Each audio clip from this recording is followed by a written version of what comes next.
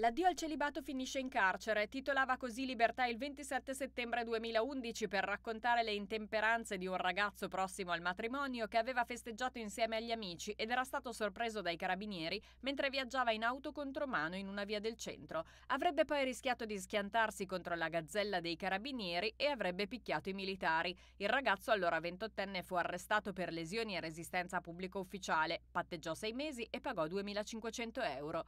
Dopo l'arresto dei carabinieri della caserma Levante, il protagonista di quella nottataccia ora racconta un'altra verità.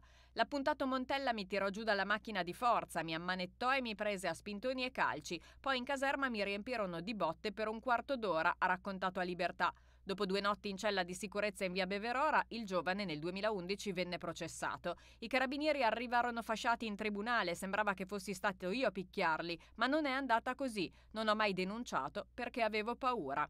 Il 37enne è difeso dall'avvocato Antonino Rossi, che ora sta valutando insieme all'assistito se chiedere una revisione del processo.